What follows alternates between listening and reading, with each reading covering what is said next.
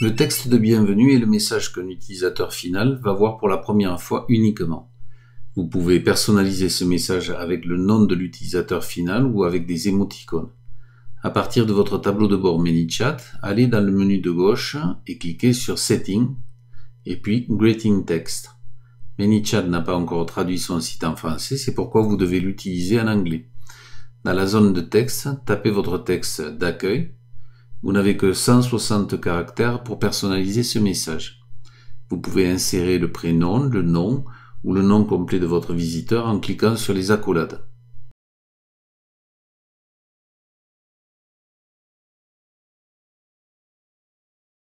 Appelez à l'action en demandant une action à votre interlocuteur.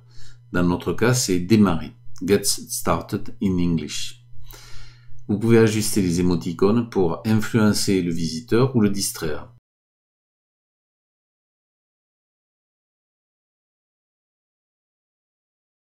Pour prévisualiser votre message de bienvenue de première fois, cliquez sur Show how it looks.